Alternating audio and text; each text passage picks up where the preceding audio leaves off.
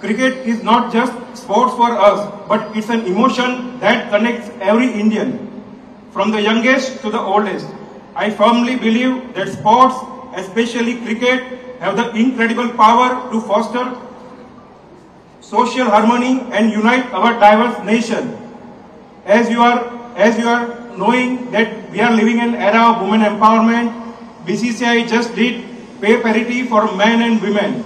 So uh, I am pleased to inform you that after our decision, US Open Tennis, English Cricket Board and ICC did a pay parity for men and women. BCCI has undertaken several initiatives to promote gen gender equality in the world of cricket. Our board has been at the forefront creating a new wave of equality with initiatives like pay parity which has significantly boosted women cricket and provided strong support to our female cricketers.